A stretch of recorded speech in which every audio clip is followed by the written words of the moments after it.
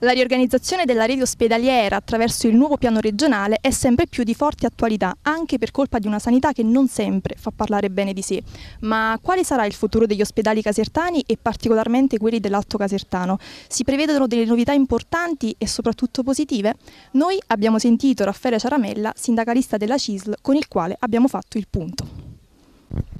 Allora, quali sono le novità più importanti? Beh, le novità più importanti riguardano sicuramente il discorso dei posti letto. La provincia di Caserta è stata sempre fortemente penalizzata per quanto riguarda il rapporto tra posti letto cittadini, perché logicamente c'erano nel conteggio totale i posti del policlinico che è ancora un cantiere aperto e non abbiamo praticamente al momento date certe sulla sua ultimazione.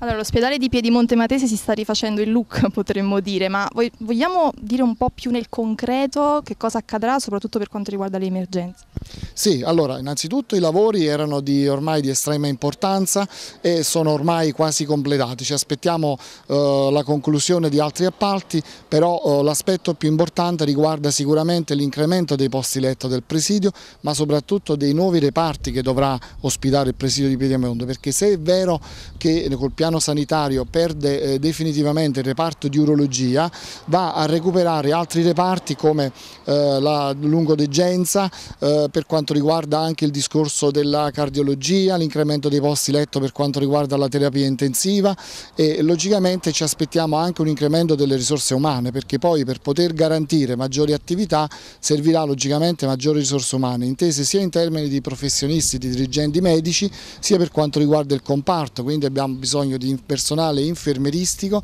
e abbiamo bisogno di personale di supporto, gli operatori sociosanitari, per poter continuare sia a garantire le attività attuali, ma eh, soprattutto la riorganizzazione che prevederà logicamente questo incremento di attività. Sulla sanità è tutto, Mariangela Marotta per casertasera.it